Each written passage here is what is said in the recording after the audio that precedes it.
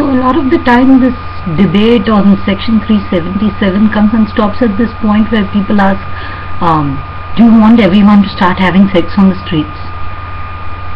And I'm like, well, uh, heterosexuals can have sex legally, so are they having sex on the streets? Or um, because homosexuals weren't invented by you know, removing section 377 they've always been there so have, uh, have they been having sex on the streets?